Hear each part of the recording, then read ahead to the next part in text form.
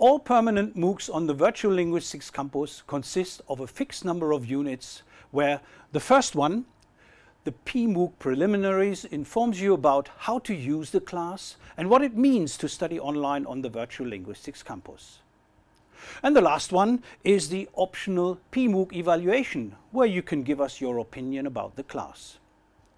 Central to our PMOOCs is the idea that you have access to all units of a class at any time However, if you wish, you can also define your own fixed rhythm using the class timer.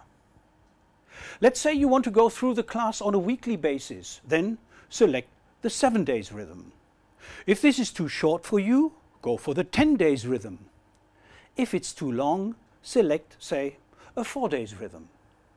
Please note that the rhythm is just a guideline for you. It marks the unit you should work with in red and makes available the practical solutions in time.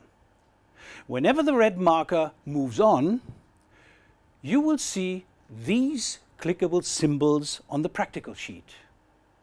But note that, of course, you are free to change your rhythm whenever you like, and you can always override it at any time and access any unit of your choice and the components within it.